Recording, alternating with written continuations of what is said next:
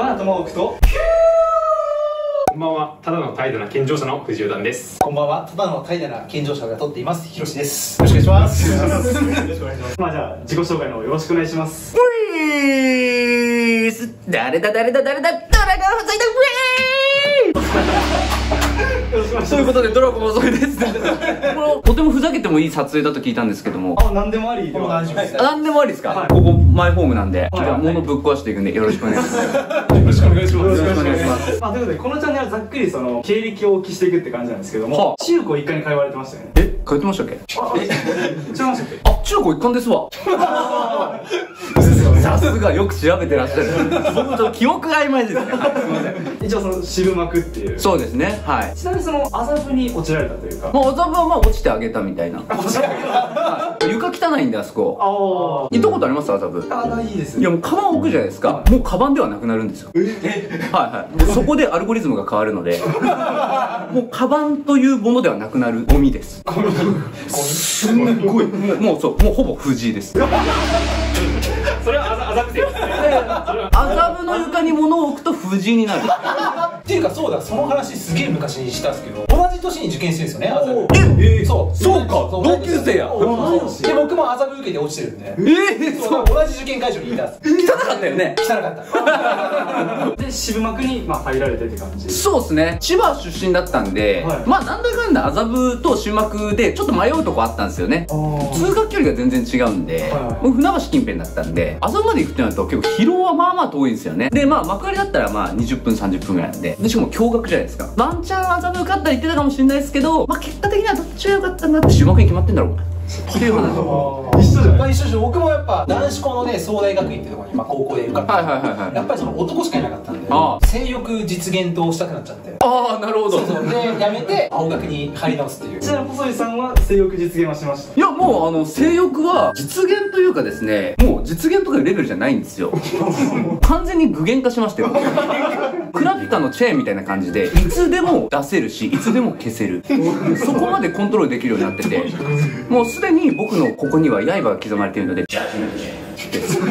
ト強いんだ そんな進めにかかったことある中高では勉強はしましたいや勉強は正直そのしちゃいけないもんだと思ってたんでおえなんか勉強してるとか思われちゃうのがあんまりこう好ましくないと思ってたんで。てかまあその中高一貫にいたら大学受験まで遠すぎるやんっていう話で何を目標に僕生きればいいの？性欲みたいになりますよね。だから勉強はあんまりしてないですね。高2の夏ぐらいからですねやっぱちょっと周り目の色変わるなみたいな時期あるんですよやっぱ中高一貫。それまではやんちゃしてたら結構目立ったんですけど高2の夏ぐらいからなんかやんちゃしてるとあいつやばくねみたいな。っていう空気感漂ってくるんですよね。だからそこら辺でちょっとパラダイムシフトが起きましたね。結構やんちゃしてたんですね。まあやんちゃっていうか授業ぶちったりとかお物破壊したりとか、まあ、そういう非常に可愛いまあレベルのまあやんちゃというか。少年院とかまでいかんぐらいの。あそうですね。まあ歩道で済むみたいな。あひよってる。まあじゃあ前科はついてるって感じですね。まあまあもう前科はまあほぼついてるみたいな。怪しい怪しい大丈夫ですかねこれ。ちなみに離散志望でしたっけ？離散志望でしたね。はいはい。それはなんか理由とかありました？いやまあ離散以外受ける大学が見つからなかったっていう。おお例えば僕結局千葉大ですけどなんで千葉大行くんかみたいな理由考えるのって後から捏造しなきゃいけないわけですよ。千葉出身だからとか、まあ、センター試験が比重が多いからとか。こんなん全部捏造じゃないですか。自分の都合のいいように理由を考えて勝手につけたわけで早稲田だか横国だかポンコツ大学行ってるやつらがりますけどまあそんなのをねこうバリューにしてる時点で鼻くそであの文系だったら東大文一以外は大学じゃないんですよ。やべどっかとか聞いたことあるぞ。あれ？お父さんお父さんお父さん。お父さんあれ憑依してる憑依してるそうしてますね大学でしたよねあそうかそうかそうか。そもうそれよりリーホイル厳しいまあ、要するにいいんですよ。行くのはいいんですけど要は行くのに理由付けをしてるだけなんですね。だって別に全員トップ目指せばいいだけじゃないですか。それ届かないから早稲田だったりとか慶応だったり横国だったり俺だって千葉大なのに離散に行けなかったからなんですね。だから目指すんだったらトップっていうのは当然の思考かなと。なるほど。はい。そう思いますけどね。どう思いますか浜井君。いや休労して妥協してしまったなと思いました。ああなるほど。それはもうちょっともう一回生死からですねはい。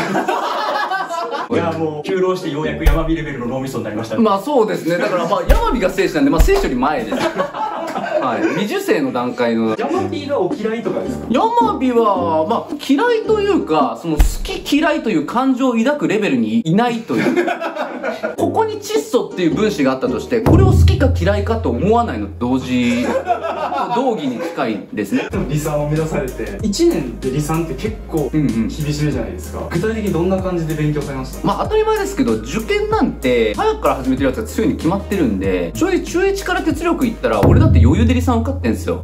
当たり前じゃんっていう。だってプレイ時間じゃないですか。当たり前ポケモンと一緒なんで、プレイ時間長いやつの方が普通ポケモン持ってるに決まってるじゃないですか。だからプレイ時間が短いってことは、濃縮するしかないなと考えて、よく言ってますけど、その東大理さんの合格者の本ありますよね。ああれを読んでデータ収集して、これとこれとこれとこれを極めれば、多分理さんに近づくだろうなっていう、まあ、プランニングを練ったっていう感じですかね。うん。プレイ時間だったら誰にも負けませんから た、確かに。ただ何も考えずプレイしてただけかもしれませんあ、だから、つけたまま寝てたとか、まあ、つけたまま抜いてたとか、そういう話ですよ。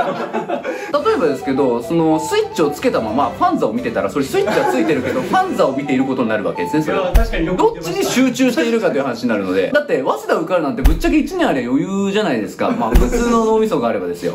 だから、まあ、八郎はほぼ AV だと思ったわけ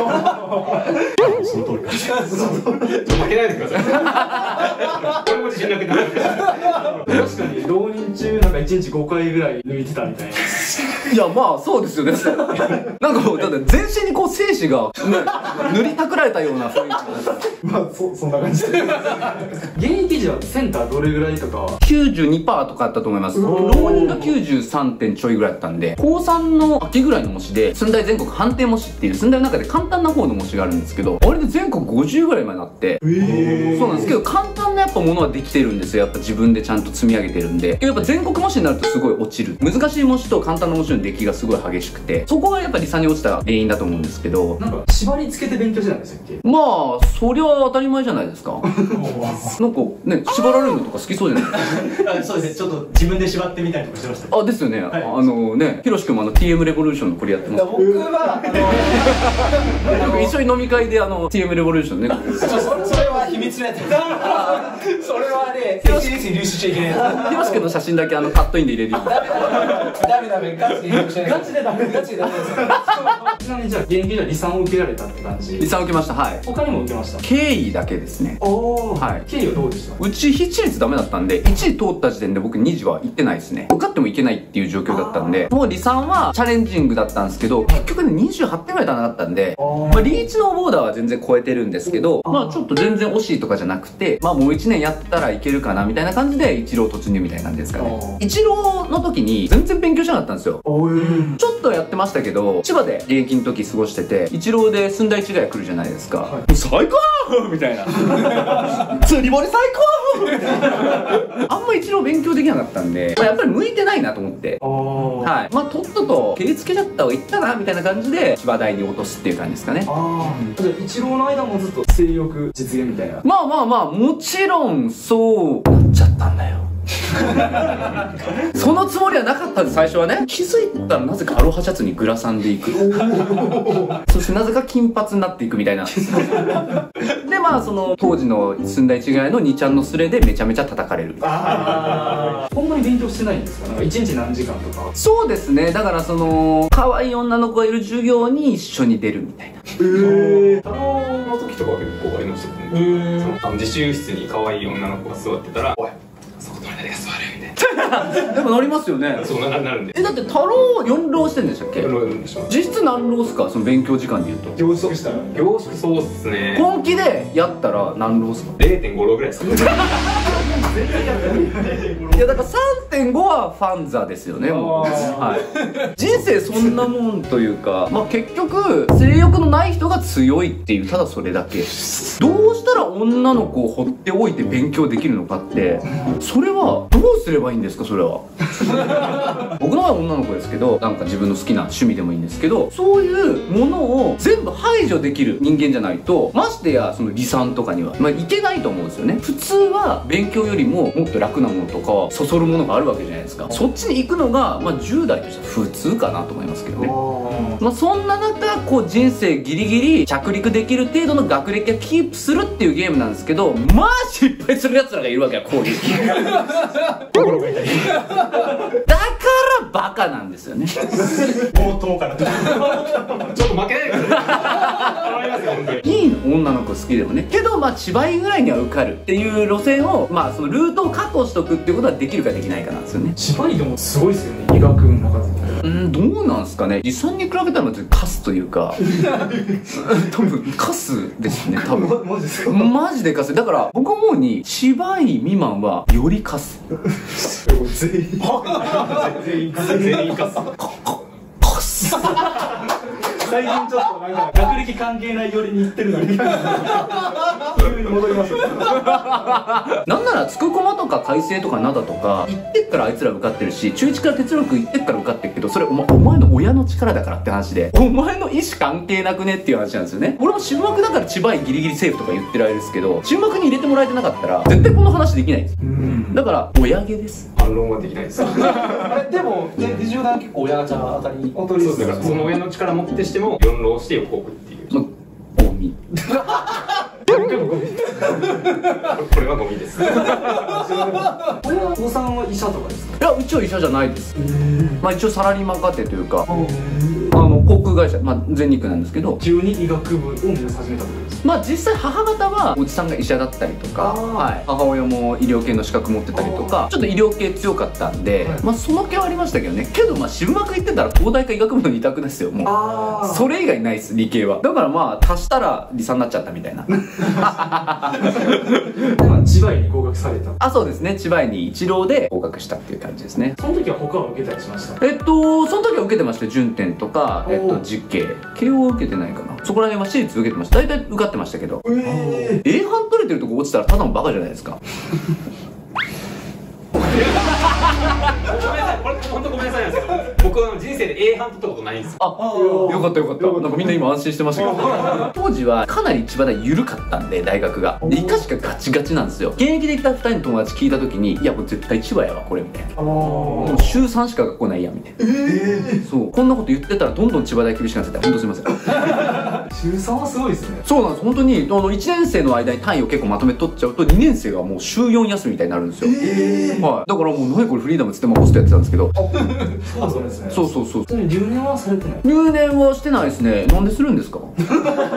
なんでするのか僕もわからない。で す大学から嫌われてるってことですよね。あの結構その個人的な話になっちゃうんですけどこの春ぐらいに休学届を出しに行ったんですけど、アフターフォローがすごく素晴らしいものでだから嫌われてるってことはないと思います。あななるほど。それはあの行為が終わった後のあのピロートークがいいみたいな感じなんですか？高一はすごいあのド S 待遇受けるんだけど高二後のそのピロートークはめっちゃ優しいからハマっちゃうみたいな感じでホストですね。両国ホストです。そこはちょっと嫌だったんですね。そう。いやでもまあちょっとだけ気持ちいいなって思ってまだ1年生なんですか？今2年生です。あ2年生。2年生4回してます。おおえ普通いけるんですね。2回やったらダメみたいな2倍やったらダメみたいなのありますよね。あの通算で2倍以上になるとアウトらしいですけどあはいはいダはい。ブル分には OK らしい。あ次がストレートいかなきゃいかんってことですね。そうです。ろもうあとないんで。おおまあ退学ですね普通に。ホストもしつつストレートで。最初は1年半ぐらいホストやらせてもらってでその後は塾講師ですね。トライさんとかで塾講師やらせてもらってプロのライセンスまでもらって。ホストされたきっかけはありますか？あそれスカウトです。おはい、浪人の延長でまあなんか金髪アロハシャツにグラサンみたいな感じで歩いてたんで。まあ多分あの迷える子羊やと思われたんだと思いますあ家あるって言われましたもん。あるわボケみたいな。ーちなみに国試も普通に受かられた感じ？そうですね。もう全然余裕でした。ね勉強してないんですけど、はい、勉強してないっていうかまあそのさらっとするぐらいで。なん。なんなんで落ちるんかわからないですけどね。金子ってやつですか？そうですね。そのまあ以前コラボされてましたけど。ああそうですね。やっぱ理由わからないですか？そうですね。理由わからないというか空気感がすごい出てるんですよ。その医師国家試験って。これで引っ掛けてこれで正当してねみたいな。あもうもう手に取るように分かるんですけどルシファー様とのレベルになるともろパン食らっちゃうんでしょうね。なんかもうあの イントだよみたいなのに自分からそそれじゃあ困っちゃうんですよね要するに医者の仕事っていうのは。要はフェイントが結構やっぱいっぱい散りばめられてるんで普段の診療の中に。なのでそういうフェイントをちゃんとフェイントだと分からないといけないんですけどフェイントに本番食らっちゃうとやっぱああいう風に落ちちゃうんですかね。はい。今その金子さんを応援してる感じなんですか？全然応援してないです。え？あそうだったんですか？いやだって落ちる人間まともな人間じゃないでしょ。そう国試落ちてないです。ちょっと待って。えでもでもあの国試落ちる理由がわからんって言ってたんですけど僕あの進級できる理由がわかんないですから。ああ同じ多分感覚だと思うんですああ確かに。まあ俺もその中1中2ぐらいの時にやっぱその反省文を書かずに過ごせる理由がわからなかったですあなんか歩いてると何か壊れるんですよ。なんか まあそれは何か僕はボールを投げたり蹴ったりしてるからなんだけど、まあ、蛍光灯は割れるわ食事とガラスは割れるわなんか銅像は倒れるわなんかじゃなくて僕歩いてるだけなんですよ僕。でなんかしてるんですよね多分。空手やってたんでしたっけ？いやまあそうですね。あのそう極真とかもやっててまあやんちゃやったんですねやっぱエネルギーが。やっぱ怒られるじゃないですか。でめっちゃ親とか呼ばれてもうやるなって言われるんですけどでもどうしようみたいな。歩いてたら反省文書くやん俺みたいな。息したら反省文が生じてしまうみたいな。これは一体どうすればいいんだみたいな。そういう気持ちですか？いや全く一緒です。歩いてたら単位を落としますもん。わかりますわかります。なんかまだ多分幼稚というか。今までめっちゃ分かりやすかったじゃない突き放すのやめてください中1の時の話してるんで。この前知ったんですけど麻生さんのところにいたんですよ。麻生先生のとこではい非常勤で働かせてもらってました。ちょっとなんか揉めたじゃないですけど。いや全然揉めてないですよまあその SNS 上揉めたことにしようみたいにはしましたけど。そこまでフルコミットしてなかったんでうん。麻生先生のクリニックのもうほんと地方巡業を担当するみたいな感じで。やっぱメインのところにはもう有名な先生いらっしゃるんで地方舞台みたいな感じだったんでそんなどうして僕は辞める辞めないって言ったってまあそんなに揉めるような状態ではなかったですね。あむしろ今でも友好な関係というかめっちゃ仲いいです。麻生先生のお子さんも見させていただいてましたし。あはい。まあ麻生先生言ってるか分かんないですけど他にもお子さんがいらっしゃるんで見させていただいてて。今見てるんですはいそうですそうです。であその形成外科ですよね。それを選んだ理由はありますか？まああのもともとはこの美容外科今僕美容クリニック開業してますけど、まあ、美容クリニックの基礎となるのが形成外科なんでまあそれやってから美容行くっていうのがまあ本筋なんですけどまあ今は結構スキップしていきなり美容に行く人もいるんですけどまあ一応やっぱ下地固めとこうかなと思って眼系有明病院ってとこで2年間やらせてもらってそこから麻生先生のとこ一緒に働かせてもらったりして私は6年目間で独立したって感じですかね。そっから塾も経営とかですか？塾はもう研修医の時からやってます。ああそうだったんですか。はい。めっちゃ忙しいですね。まあ2つか3つぐらい仕事並行してやるのは、まあ、僕にとってはあまり苦でもないというかまあ、そんぐらいしとかないとちょっと暇つぶれなくないみたい。な、まあ、暇になるとなんかほらねこういう人たち生じるじゃないですか。忙しいですよ僕いややっぱ暇の作り出したモンスターやと思うんですよ。普通はアクセクしてたらだらける暇もなくみんな終わっちゃう人が多いんですよ結構。あだからまあそこへは結構バタバタバタってやっちゃった方が結果的には短縮できるっていうのはありますよね。あそうだから別にあんまり忙しいって感じたことはなかったですね。ちなみにその教祖の息子と出会われたのは？当時だからもうヒロシさんは知名度半端なくて普通に俺全然ヒロシする前からサンシャイン池崎の格好したやつがカラオケボックスで叫んでる。なんかヤフーニュースかなんか見て たマジやばいやつおんなそしたらなんか池袋のボロボロのバーになんかいてうえーみたいな。東横線で見たやつやんけみたいな。でまあそう初めてお会いした時に帰りにそのロールスロイスで送ってくれて。ああどうしようどうしようどうしようあれどんぐらいのやつでしたっけ？普通に新車価格で言ったら4000万5000万ぐらいだと思いますよ、はい。僕はまあ買ったのは中古なんで2000何百万とかですけど。はい。学費100年分ですね 極費安っ。百流できるってことですか100流。松江ぐらいは96流ぐらいです。使わなくなったらあの差し上げますんで。ぜひ。96流していただければ車今何台持ってるんでしたっ自分が乗るのは4台ぐらいですかけね自分が乗るのは？ロールスロールスフェラーリフェラーリ、まあ、あとベンツもはいはい。まあいっぱいありますよ。えそれ車だけでどんぐらいになります？合わせると。4000、4000、5000、5000ぐらいなんで、まあまあ2億ぐらいじゃないですか。パパ一流法だ一流法一流法が僕訴えたね金額と同じあ、一流法一流法一流法 すごい。一サトシみたいなのがあるんだね。そうそう単単位があるんですよ。1ビットコインみたいな。そうそうそうそう。で今はメディケイト。そのはい自分とあとこのアマソラクリニック。まあこの2つをまあメインでやってるって感じですか？あ、そうですね。ちなみに年商ってそれぞれどんぐらいなんですか？合計ですけど、20はいってるんじゃないですか？は 20? い。20億。ちなみに自分の給料ってどれぐらいですか？こっちは個人事業主で今までやってて、けどこれから医療法人なりしたんですよ。だから医療法人になると、これからは自分の給料を自分で決めれるんですね。なるほだから、その給料っていうのはもう自由なんですよね、だから。車とかは経費で落とせるんですか？あのー、事業用で使えるものであれば経費で落とせますそうじゃないものは個人所有にしちゃいます留年もワンチャン経費をきます経費ですね。もうだって留年を仕事にして食っていくしかもうないですよね。もうネタがつきます。結構それは言われますね。大学大学になったら何もなくなるからまだしがみついてんだろうみたいな感じ。であけどあれ藤井なんて医学部志望なんじゃなかったでしたっけ？ああそうなのもともと薬志望で違うところに行ってるっていう感じ。はいはいはいはい。えじゃあ親御さんもお医者さんとか？親御さんはお医者さんでいまだになんか再受験しろみたいな感じでちょっと言ってくるっていうあメディケイトですね お大丈夫ですか？見てくれたら扱いますか？えけどえ頭いいんですよね？えそのゴミなのは性格というかその キャラクターは多分終わってるし多分まあこの世で言うとかなりまあ偏差値2ぐらいだと思うんですけどえ頭はありますよね？一応四浪してるんでありますね。一応四浪してる。いや実際やっぱ親御さんの影響がかなり強いんでその要は頭脳。ってでまあお父様とかお母様、まあ、お医者さんだったりすると最低限かなりポテンシャルはあるんですよ絶対に。うんあそうですはい。なので全然受からせられると思いますよ本当ですか？だって塾来ないですよ多分。いや普通に殺しますけど。普通に髪掴んで。やりかせんとやってみろよメディケイトそんな命がけですか？いやいやまああの受験っていうのは死ぬか受かるかなんで。まあそれはもちろん親御さんのご意向あってなんですけどそれぐらい本当に厳しくやってくれって親御さんも結構多いんですよ。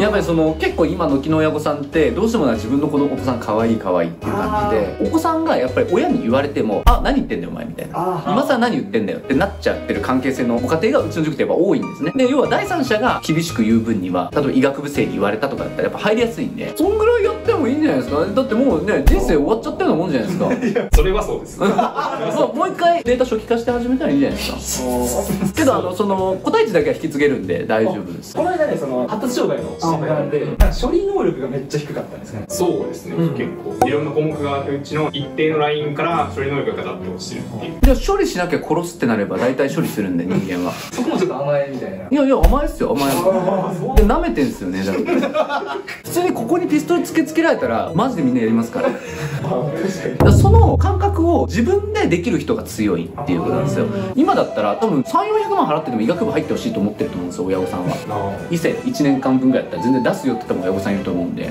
パン。来いよ。今までの話聞いてると絶対行きたくない。なやっぱりそれをだんだんだんだんその自分の中で落とし込んでって快感にするようにするんですよ。まあ浜井君みたいに。おド M ですもんねド M です。結構無知とかで歌えたらあーって泣いちゃう。まあ、ひろし君もあそこで脱毛で。そうそうそうそう。そうあまりにも声がうるさすぎてそのえ営業終了後の時間にその予約させてくれるようになってあの他のお客さんがびっくりしたんでオペ中で寝てる患者さんも起きたっていう 実際結構いるんですよそんぐらいの年でまた医学部入ってくる人っていっぱいいて。やっぱり医者だなってなるのは親御さんが医者の人なんですよね。でやっぱりそれをチャンスとして与えてくれるんでそれはすごいいいチャンスだと思いますけどね。えなんかちょっと受けたくなって見てる人あの医学部行きたかったらメディケイト 令和の虎関連はな。んか揉め事がねやっぱあってポーカーとかで。やっぱりその受験生版もそうなんですけど、まあ、ああいうの今の時代って見れるっていいよなって思いますよね。ああいうのが今見れたら多分2人ともこうなってないと思うんですよ。休老浜井とか言ってるやつがいたらマジこうならんとこって思いますよ。反教師にしますのでだから今の多分17歳ぐらいを救ってる可能性は多々ある。あだって僕らがその受験の時にそんな太郎 YouTuber なんて見たことないですから 例えば離散生なんてのももう幻みたいなもんじゃないですか普通からしたら。僕はそのエナっていう塾行ってたんで、まあ、離散のチューターとか見てうわーすげえ離散生だみたいな感じだったんですけど今じゃって YouTube でねなんかベテラン値とかねそういうね彼らがいるじゃないですか。だからいいよなと思いますよね、まあ、その反面それがね、まあ、そこでモチベーティングできるけども、まあ余計なものも見れちゃう時代なんで。そう。余計なパンザ。あいや僕の時代カリビアンコールでしたね。あほぼほぼ同世代です最後にその受験生とかにアドバイスメッセージみたいなコーナーあるんですけど。はいはい。それちょっとお願いしてもいいですか？あもちろんですもちろんです。このトマホークチャンネルを見てる人はいろんな人の人生の縮図をね見れると思うんですよね。例えば麻生先生もそうですし NHK をぶっ壊すってね。まあ本当にね、まあ、日本の中枢に近い方々も見られるっていうねもうすごいチャンネルだと思うんで。はい。で何よりもやっぱりその僕よく思うのはなんだかんだ親芸なんですよ。だから自分のせいだと思わない方がいいっていうところですね。あとは自分はいつか親になる可能性があるわけですよね。自分の人生がちょっと今ダメだなと思ってももし何かの折に子供ができたりしたらその子供には自分の親のせいでこうなったと思わせちゃいけないと思うんですよね。だから自分がどんなにダメでもいい親になってほしいなっていうふうに皆さんに対して思いますね。最後に飴が来たな。ずっと無知だったのに最後飴来たリさん以外はみたいな ありがとうございます。はいありがとうございましたに網にファキュ中この街の空に。網見つませこんな時代のそばに。I mean it just in you 代わりもいなくて。I keep it make the way 隣